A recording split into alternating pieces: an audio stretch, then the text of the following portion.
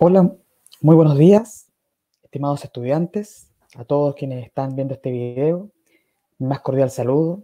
Espero que estén muy bien. Han sido tiempos bastante complejos, bastante difíciles, pero lo importante es estar aquí, estar presente, comunicarnos entre todos, comunicarnos en la forma que podamos. Eh, la razón de este video es eh, dar una explicación a lo que va a ser la tercera guía de trabajo que vamos a comenzar a hacer esta semana, el cómo vamos a desarrollarla, para que ustedes vayan entendiendo más o menos cómo realizarla, el proceso de cómo desarrollarla dentro del, tiempo que, ustedes puedan, y luego también la, tendrán que enviar en, en, la medida correspondiente a través del correo que todos saben cuál es, que es duc.vigno.com outlook.com. Espero que todo esté muy bien junto con sus familias, todos y todas. Y aquí su profesor siempre aquí les va a tener su cariño y los extraña muchísimo. Y vamos entonces a, a explicar un poco lo que se viene. Ya las guías anteriores estuvimos trabajando con género narrativo. Estuvimos trabajando con lo que son las situaciones, las acciones que transcurren dentro del género narrativo en este caso el inicio, el desarrollo y el final. Y que dentro de estas también existen ciertos, podríamos llamar ciertos detalles, acontecimientos que transcurren entre medio de estos tres tipos de acciones, por lo cual se desarrollan los acontecimientos y da lugar a un relato. Pero ahora nos vamos a ir a otro aspecto, vamos a pasar del género narrativo al género lírico, que es lo que nos lo que nos transporta a la siguiente guía. Acuérdense que estamos trabajando aún en lo que se le llama la unidad cero, que es una unidad de retroalimentación. Es una unidad en la cual estamos tomando el conocimiento que ya lleva, ya hemos aprendido en los años anteriores, en este caso en sexto, y lo vamos a ir complementando con el trabajo que se va a ir realizando durante el año. Vamos a hablar del género lírico. Ya habíamos comentado en clases algunas cosas del género lírico, que la pueden ver en la diapositiva que ustedes ven en pantalla. El género lírico se caracteriza por presentar la realidad desde el punto de vista del hablante lírico. ¿Qué quiere decir con esto?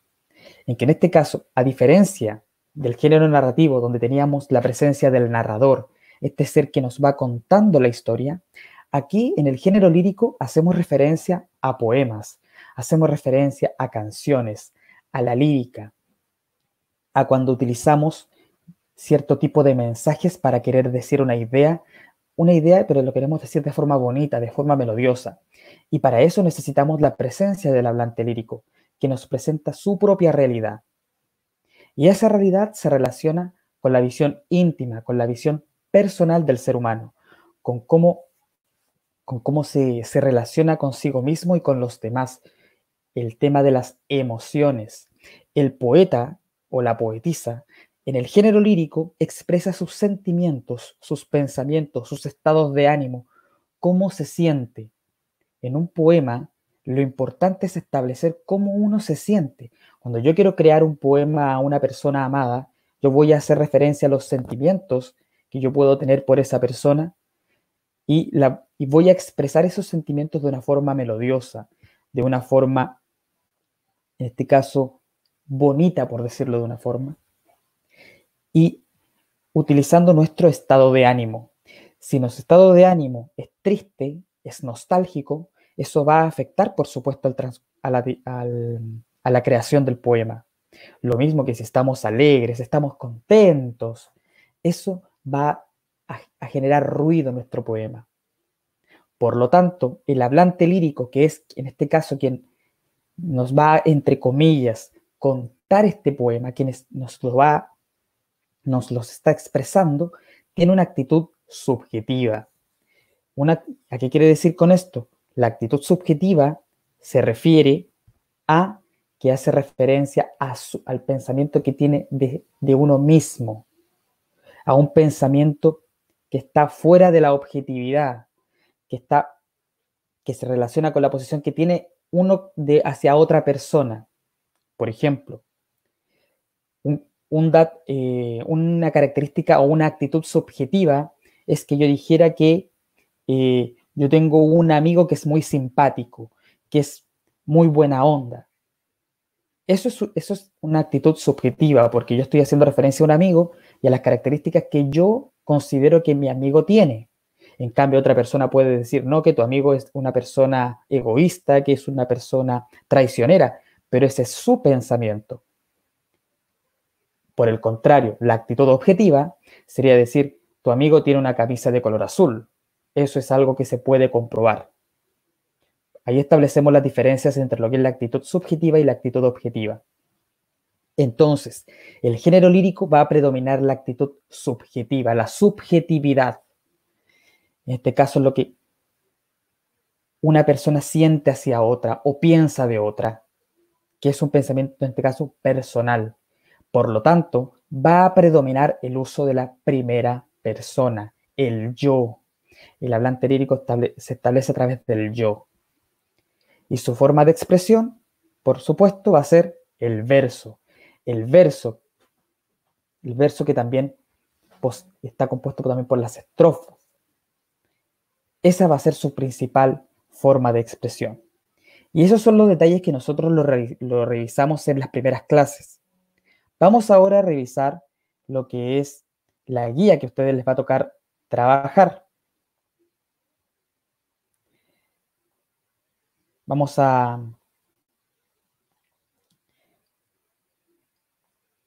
Les voy a... Estoy mencionando aquí.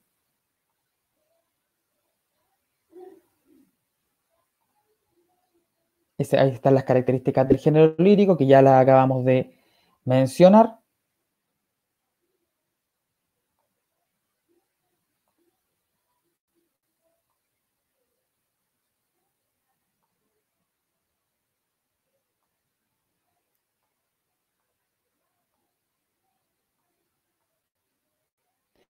Ahí sí. Ahora sí. Vamos a revisar esta guía de trabajo, que es la que corresponde ya a, trabajar a partir de ahora. La vamos a ir revisando paso a paso. Muy bien. Esta es la guía que nosotros nos va, nos va a ayudar. Vamos a trabajar. Esta es la unidad número, la unidad 0, la guía número 3, y dice, estimado estudiante, a través de esta guía trabajarás en la lectura y análisis de poemas. Podrás identificar algunas figuras literarias y descubrir sus significados. El objetivo de la clase en este caso sería analizar aspectos importantes de los poemas, explicando su lenguaje poético y los estados de ánimo e imágenes que sugieren. La primera actividad que ustedes tienen que realizar es la siguiente. Se les va a presentar tres preguntas de que tienen que responder si es la afirmación verdadera o si lo que dice también es falso. Si lo que dice es falso, ustedes tienen que justificar a qué quiere decir con eso y que ustedes tienen que colocar por qué la respuesta que ustedes creen es falsa, por qué la afirmación, perdón, que aparece allí es falsa. Y las afirmaciones son las siguientes. Número uno, el propósito principal de un poema es contar una historia. ¿Verdadero o falso? Ahí ustedes tienen que responder. Número dos, el autor y el hablante lírico son lo mismo en todos los poemas. Si, si ustedes creen que es lo mismo, colocan verdadero. Si no es así, colocan si es falso. Y si es falso, ¿por qué es falso? Y número tres, el lenguaje figurado o poético también se puede utilizar en canciones. Ahí ustedes establecen si es verdadero o si es falso. ¿Qué es lo importante de estas tres preguntas? Estas tres preguntas ustedes las tienen que responder con lo que ustedes saben, con lo que ustedes crean. Aquí no es importante establecer si está bien o está mal. Lo importante de estas preguntas es tener en cuenta qué es lo que ya sabemos del tema. Y a, partir de la respuesta que ustedes van allí, se van a dar cuenta en lo siguiente si, ah, tenía razón en esto o estaba equivocado. Entonces, luego de realizar esas tres preguntas, vamos a lo siguiente que es la actividad número 2. Y justamente, lo importante de todo el trabajo en el programa Bicentenario es que cada es establecer que el aprendizaje, lo que vayamos aprendiendo, lo vayamos considerando y lo vayamos haciendo nuestro. No es la idea aprender porque sí, sino aprender con un significado, el aprendizaje significativo. Antes de acceder a un conocimiento nuevo, yo tengo que tomar en cuenta qué es lo que ya sé sobre el tema y qué es lo que desconozco para ir encaminándome lo que va en siguiente. Entonces la actividad número dos dice, ¿qué es analizar? Y responde a la pregunta, analizar es descomponer o dividir un todo en sus partes, comprendiendo cada una de ellas, además de establecer relaciones entre sí. Por ejemplo, en el caso de un poema, deberíamos comenzar por comprender cada una de sus partes, es decir, sus versos y estrofas, para posteriormente interpretar su significado. Entonces, cuando hablamos de analizar, hablamos de separar, de dividir un, en todo y analizar cada una de sus partes. Por ejemplo, si queremos analizar un auto, tenemos que dividir sus partes, tenemos que eh, deconstruirlo, desarmarlo y analizar qué partes tiene ese auto. Lo mismo si analizamos un texto, si analizamos un poema o cualquier cosa. tomamos ese todo y vamos a las partes. Y en el caso del poema, tenemos que analizar los versos y las estrofas. ¿Con qué objetivo? Interpretar el significado. Porque si, hay algo que es vital en un poema es que el hablante lírico, o en este caso el poeta, nos quiere decir algo con su poema, nos quiere entregar un mensaje. Y ese mensaje tenemos que saber interpretarlo. Para los que no sepan lo que es la interpretación, la interpretación hace referencia a lo que nosotros podemos descubrir al momento de leer, al momento de analizar, en este caso, un poema. Luego, la guía nos, transporta a un mapa conceptual o un esquema. Y el esquema nos ayuda a explicar nuevamente y mucho más específico lo que es el género lírico. El género lírico tiene un objetivo, tiene un, un objetivo, una fundamentación, una función de importancia que es expresar los sentimientos, expresar las emociones y las reflexiones de un hablante lírico.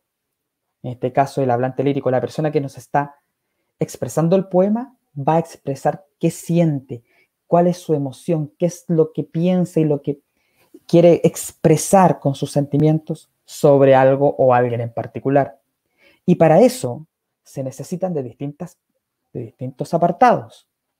Primero, el hablante lírico que lo acabo de mencionar corresponde al emisor ficticio de un poema. Recuerden la palabra ficticio, ficticio que no existe. Es el emisor ficticio de un poema, es decir, quien va a expresar sus sentimientos o emociones. Tomando en cuenta el hablante lírico, nos vamos a la actitud lírica. La actitud lírica quiere decir que el hablante lírico puede adoptar tres actitudes en el poema. O sea, el hablante lírico puede adoptar una forma de expresarse, una, una actitud, y eso puede ser expresar sus sentimientos, dirigirse a uno otro o a una otra, o contar una historia. Eso es fundamental en la actitud lírica. Luego nos vamos al temple de ánimo. El temple de ánimo hace referencia a cómo se siente el hablante lírico, a su estado de ánimo que se está expresando a través del poema. Si se siente bien, si está triste, si está alegre, si está nostálgico, si está melancólico, etc. Luego vamos al motivo lírico.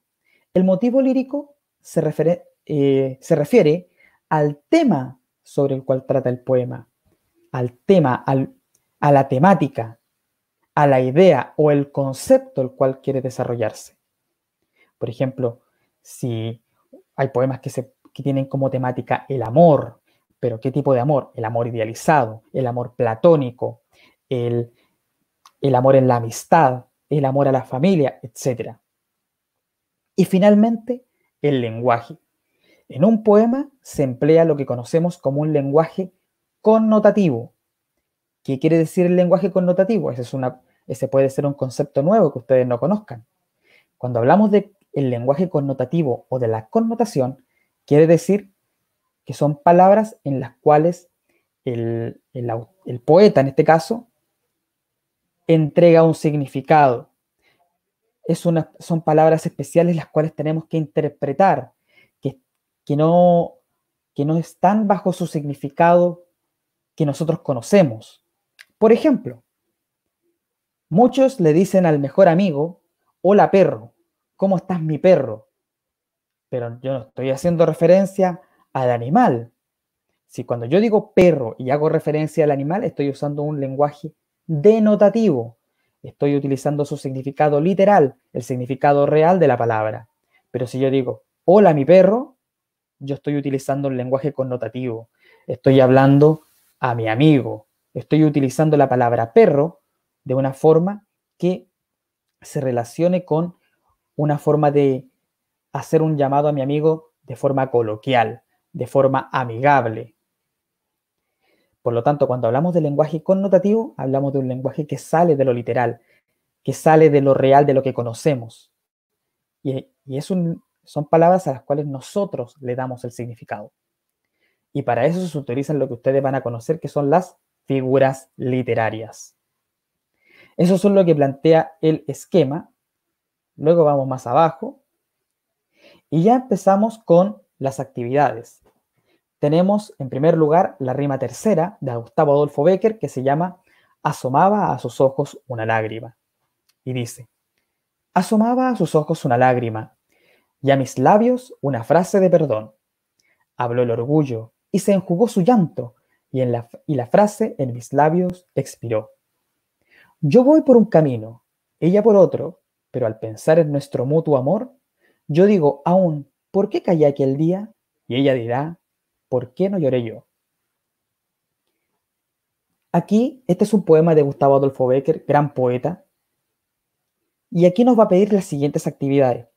Si no lo entienden, traten de leerlo una, dos, hasta por lo menos tres veces para que traten de indagar en qué es lo que nos quiere decir el poema. Ojo con las palabras que están subrayadas. Enjugó, expiró, son palabras que claramente no conocemos. Y allí establece el vocabulario. Cuando hablamos de enjugó su llanto, quiere decir que su llanto se secó. Y por otro lado, cuando hablamos de expiró, de que la frase en mis labios expiró, quiere decir que la frase murió, que la frase se acabó. Vamos entonces al recuadro. Y el recuadro, y el recuadro perdón, nos plantea que tenemos que completar. A partir del poema leído, tenemos que establecer quién es el hablante lírico, cuál es el motivo lírico, cuál es el temple de ánimo y cuál es la actitud lírica que adopta el hablante. Entonces, tomamos en cuenta que el hablante lírico es quien nos está, es el emisor del poema, quien nos lo cuenta. El motivo lírico, acuérdense que hace referencia a la temática. El temple de ánimo hablamos del estado de ánimo y la actitud es lo que nos quiere expresar el poeta. ¿Qué es lo que está haciendo el poeta en sí como actitud? Entonces, a partir de lo leído, ustedes van a responder en los recuadros que aparecen allí. En este caso lo van a responder ustedes en su cuaderno. Ahora, allí aparece respuesta, pero al lado dice ejemplifica a través de versos. ¿Qué es lo que tienen que hacer entonces? Que ustedes van a responder. Ya, si ustedes dicen que el hablante lírico, en este caso, nos vamos nuevamente a la guía.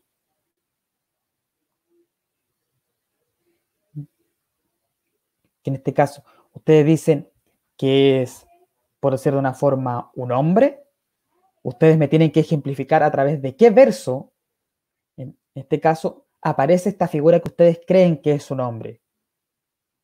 Y eso ustedes lo tienen que escribir, lo tienen que, tienen que probarme por qué ustedes creen que esa persona es el hablante lírico.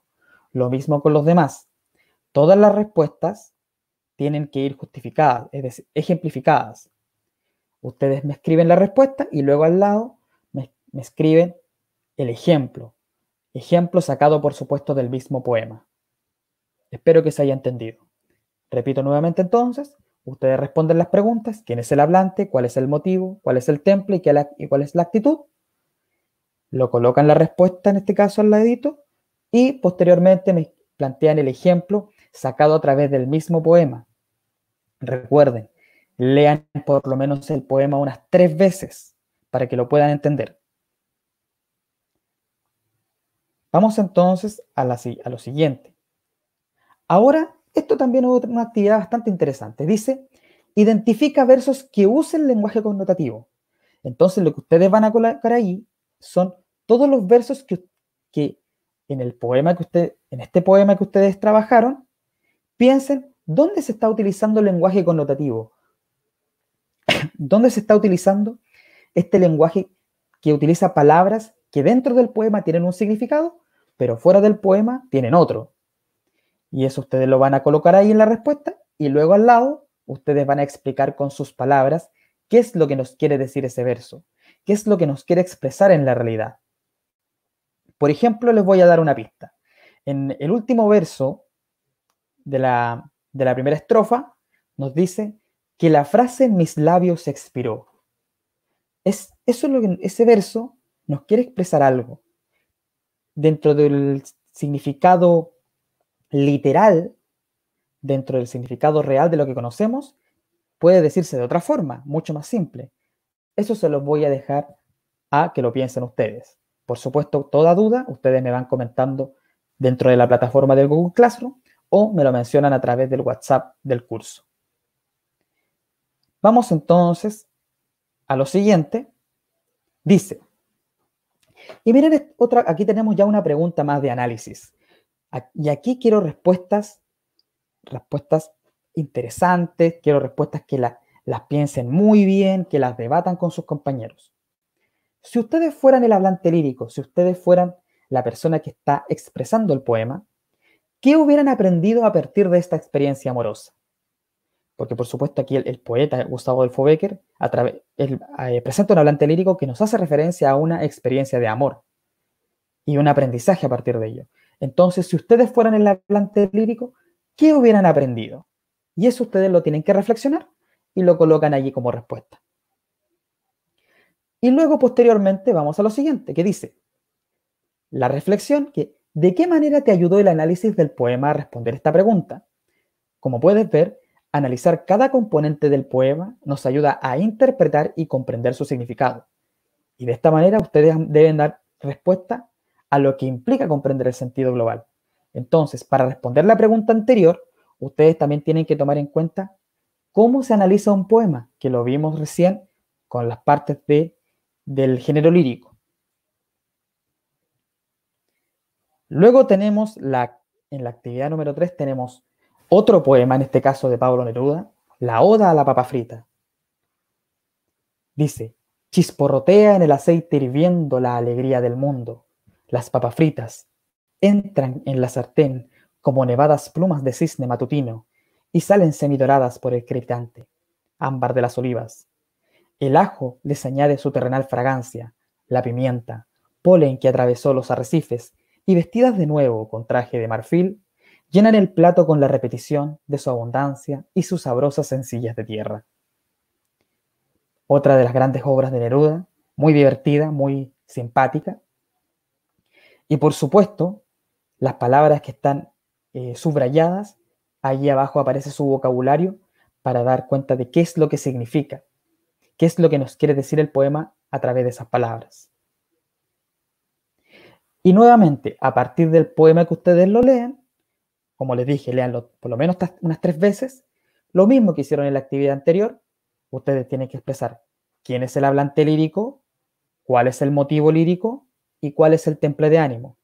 Repito que el hablante lírico es el emisor del poema, el motivo lírico es la temática y el temple de ánimo es cómo se siente el hablante lírico, cómo se siente el emisor respecto al poema. Y eso ustedes después me lo tienen que dar en ejemplo a través de los versos. Y lo mismo posteriormente, ustedes tienen que identificar versos que utilicen lenguaje connotativo, es decir, poner allí qué versos están utilizando eh, o que nos están expresando palabras que dentro del poema tienen un significado, pero fuera del poema tienen otro. Por ejemplo, volvamos al poema. Dice,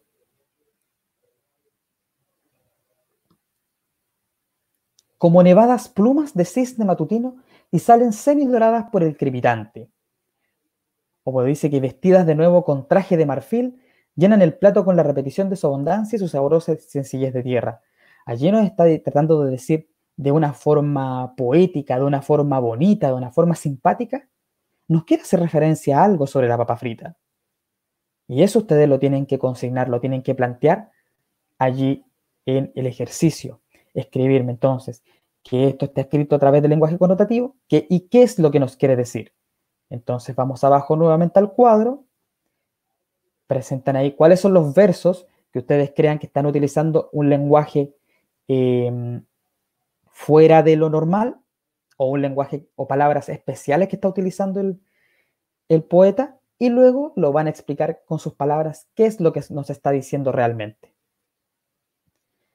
Y finalmente tenemos otro poema que es Tarde en el Hospital de Carlos Pessoa Vélez. Eh, son poemas cortos en este caso y son poemas simples que son eh, fáciles de entender. Dice, sobre el campo el agua mustía, cae fina, grácil, leve, con el agua cae angustia, llueve. Y pues solo en amplia pieza, yazgo en cama, yazgo enfermo, para espantar la tristeza, duermo.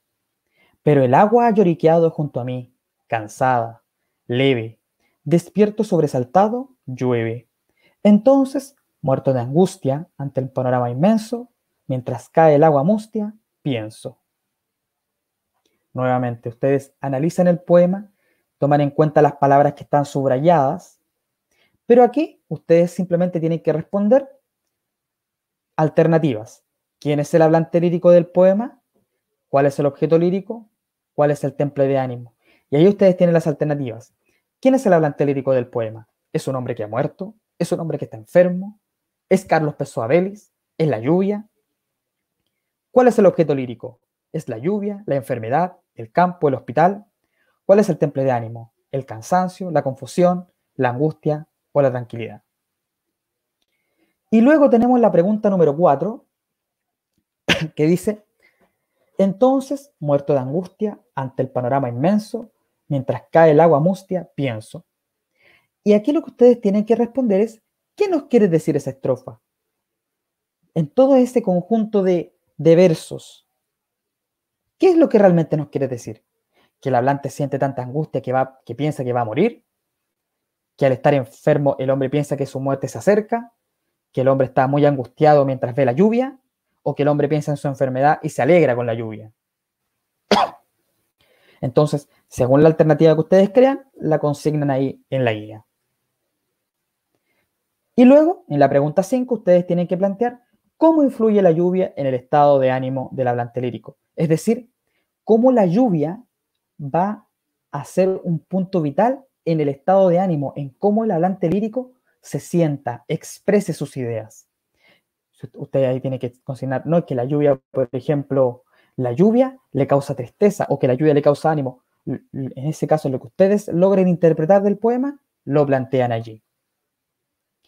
Y eso sería todo por lo que es la guía de género lírico.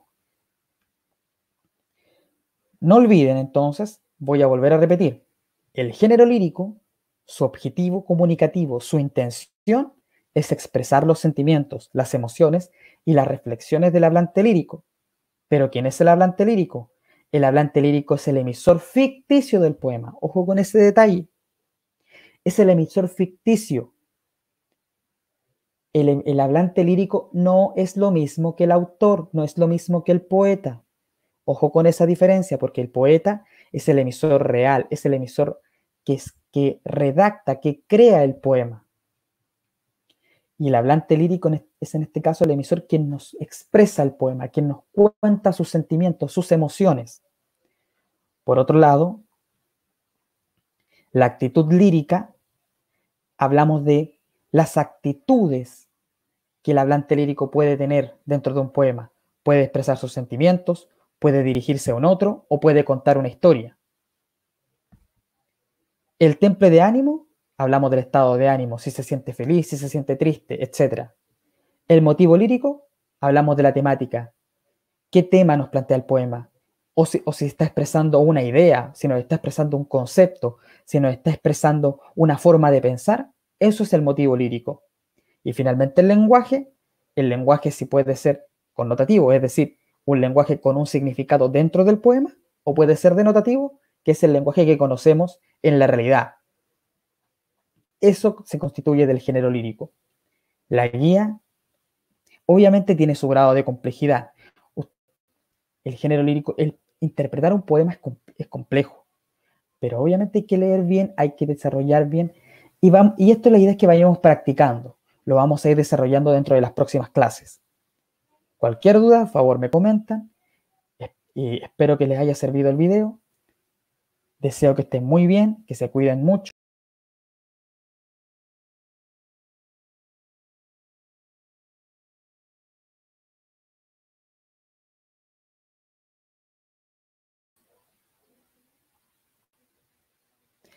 Deseo que se cuiden mucho, que estén muy bien.